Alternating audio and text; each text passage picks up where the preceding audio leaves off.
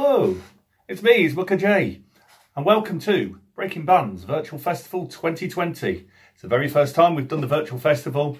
Um, maybe it's going to be something we'll do, maybe in the winter every year, and we can get a few bands together if this works. Hey, you never know. We have 50 bands coming up for you over this weekend. We have interviews with 10 bands. We have um, we have some magic. We have some very very crazy stuff going on. Carpool karaoke. Uh, we have a band live from Germany in the studio doing their bit. Um, just completely blown our mind. We've put this together in a couple of weeks uh, because obviously due to coronavirus, uh, there is no Breaking Bands Festival 6 this year and virtually all of the bands will be moving over to next year, uh, which we're really, really pleased about. So just a bit of background about Breaking Bands Festival. We've been going since 2015. This would have been our sixth and we've done five sold out festivals. We've had awards. We've been runners up on awards as well, including uh, Grassroots, Best Family Festival, Best Festival for Emerging Talent. Um, being recognised across the world with different um, awards that way, and also um, award winning stage crew, which um, the crew are very proud of, of course. Um, so if you've not been to Breaking Bands Festival before, it's in a wonderful field in um, Bromsgrove, which is about 20 miles south of Birmingham. You've got the M5, the M6, the M42. It's in a really good location, nice and easy to get to for most people around the country. It's a wonderful site. It's quite big. We have um, we have proper brick toilets. We have showers. We have indoor toilets, outdoor toilets, portaloos.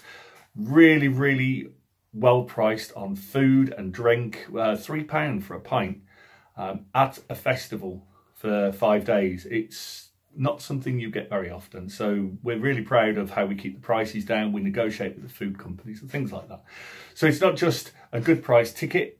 It's also really, really good value all round. And we welcome families of all ages um, from newborn people with newborn babies to people in their 90s um, have visited the festival over the last five years, which is why we've become uh, what has been known as the Breaking Bands family. And a lot of a lot of festivals have their um, core family. We call ours a community, and we do have quite a strong community at Breaking Bands Festival.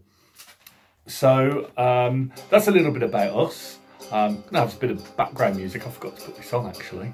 Um, so why are we doing this? Well, we had to cancel the festival and that is why we decided we still wanted to bring you something as best as we could. We contacted all the bands that are playing that were playing this year, bands that have played in the past, and there were so many of them that wanted to be involved. I'm going to have to turn it down now, aren't I? Um, so many of them that wanted to be involved, it just cascaded to 50 bands. Um, we'd like to thank all the bands for all their hard work in preparing for something that some have never done before. Uh, the technology between some of the bands is just incredible. Not everybody could do something as a full band. Some people have just done solo sets. Um, we have a band from Germany that have just hired a whole studio because the, the lockdown is at a different stage. So they've got together and put on a full thrash metal set, which is going to be quite fantastic to watch. Um, all the bands, all the band managers, the PR companies, the media. Um, special shout out to Ryan from uh, Rockthing Productions or Promotions, I think they're called, um, for the interview last week. Big shout out to all our stage crew as well because they've been fantastic um, helping me. I've been very, very stressed the last few weeks. Stacey has been working absolutely non-stop on editing video sections and putting in little intros and outros and special effects. Big shout out also to Amy from Redwire um, over in Denmark. She's been helping us with some of the editing. Also Stig from Quiet the Thief. Uh, you'll be seeing a performance from Stig over the weekend. Um, he's been helping with some of the edits as well. And also Jack from uh, The Loved and Lost. Um, possibly played more Breaking Bands festivals than anybody that band have. And he has been absolute solid. While I've been recording this message, he's still editing videos for me right now. Um, so it's been a real, again, community behind the scenes. We've had some great interviews with some of the staff, as you've, you know, you've met some of the staff during the week as well. And that's all part of what we do. So that's all the thank yous.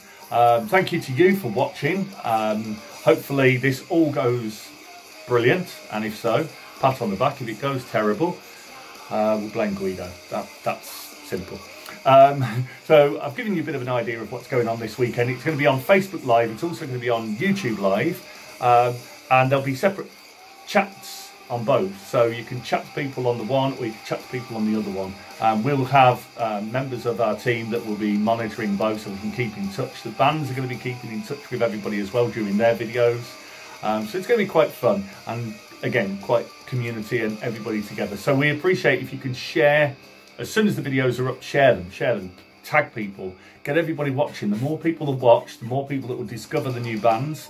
And the more people that discover the band, the more money that might get donated or the more merch that might get purchased from the band's new fans, new music. That's exactly what we are all about. So you will see lots and lots of links coming up to say about donations. So just to tell you about donations, it's a GoFundMe page we set up. 90% of all the money that goes in there will go split between every band and the other 10% will be going to the charity that we've supported since we started, which is RACPA, which is Rock Against Child Pornography and Abuse UK. A fantastic charity. We'll have a little word from them some point over the weekend and a video from them. Um, but check them out as well. It's uh, it's quite a, a, fantastic charity. What they're doing for people is brilliant. So we're taking absolutely zero money out of this. Every penny is going to the bands. Um, I've told you about how you can watch. You can you can check the links out for the donate. It's uh, bit.ly it's bit.ly at bit.ly uh, forward slash VBB Fest. But you'll see links all the way through during every video and you'll have until uh, middle of when about Wednesday next week to um, donate some money and we appreciate every penny that you can use you know and you can um, also don't forget to comment don't forget to share keep talking talk to everybody um, this is your family as well as ours. And if you want to come and join our community, search for us on Facebook for um, Breaking Bands Festival Community. We do have a community page there. And you can come and join and meet the people who are, you know, the solid foundation of what Breaking Bands is about. And finally, use the hashtag the BB Fest. We're on Twitter, we're on YouTube, we're on Instagram, we're on Facebook. Um, put your photos up. We've got people that have told us they're going to be camping in the garden. We've got people that are putting um, projectors up in barns. We've, we, have we have got all kinds of things going on. So get your photos up. Let's find, let's make a real big marker of this. Um, so get all your photos to us. Uh, hashtag and we'll share them on all our pages over the next few weeks and we'll get all the best ones and we'll put them up on our on our um, channels Okay, that takes me to an introduction of the first two bands. One second. It's thirsty work, this. I won't be doing any of the introductions over the rest of the weekend. I'm going to leave that to the hostess with the mostess, which of course is Guido McPhister. Um, so every few every few bands that have been on, Guido will pop up and say hello to you all. And um, he will be getting drunk, obviously, because that's the Guido McPhister we all know. So we're going to kick off with an absolute exclusive, which is fantastic. A band that played last year called Caine. Um, they've made a, a, video during lockdown and it's the song is called We Are What We Are and it's a quarantine video. They've all made it from home using mobile phones and put a clever spin on it to put it all together. It's really, really good. And this will be the first time it's ever been aired anywhere ever. So it, we're really, really pleased that they've done something nice like that.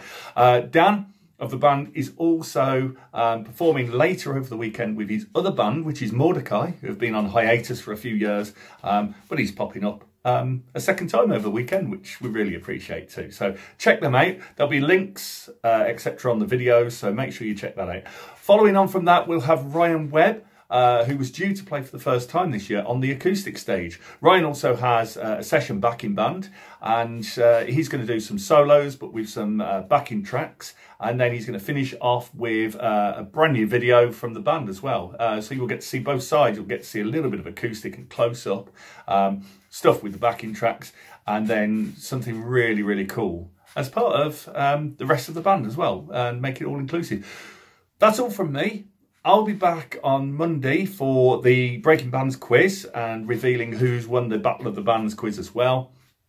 So I'll hand over to the bands and I'll see you all online. So thank you everyone for watching this short clip, well, which has become a long clip. And I'll hand over to Caine and their exclusive video, which is called we are what we are. Goodbye.